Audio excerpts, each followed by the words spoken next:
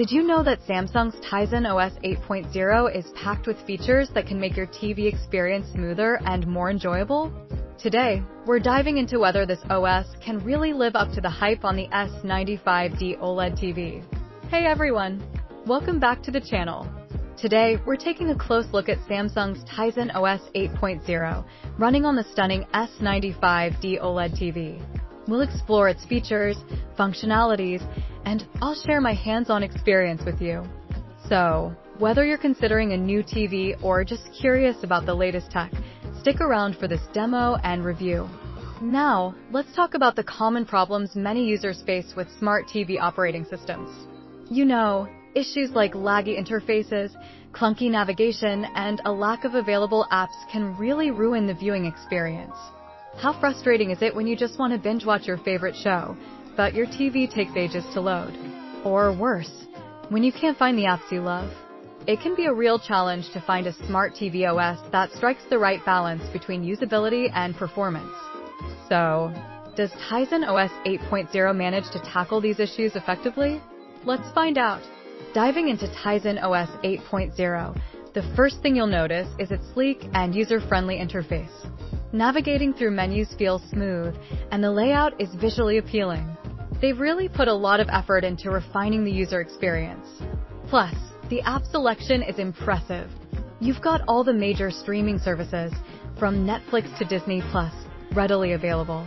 And here's what's cool.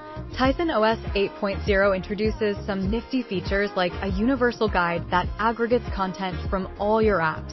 This means you can easily find what to watch without jumping from one app to another. Oh, and let's not forget about the remote. It's designed with fewer buttons, making it easier to navigate. Overall, Tizen OS 8.0 is definitely stepping up the game in the smart TV world. Now, let's get to the exciting part, the standout features of Tizen OS 8.0 during our demo. One of the most impressive moments was when I tested the performance speed. Switching between apps was lightning fast. I mean, we're talking about almost instant load times. Also, the picture quality on the S95D OLED TV is just mind-blowing, and it pairs beautifully with Tizen's enhancements. We also saw some unique applications, like Samsung's Gaming Hub, which lets you stream games directly on your TV without a console. That's a game changer for gamers. It's clear that Tizen OS 8.0 is not just about watching TV, it's about creating an entire entertainment ecosystem.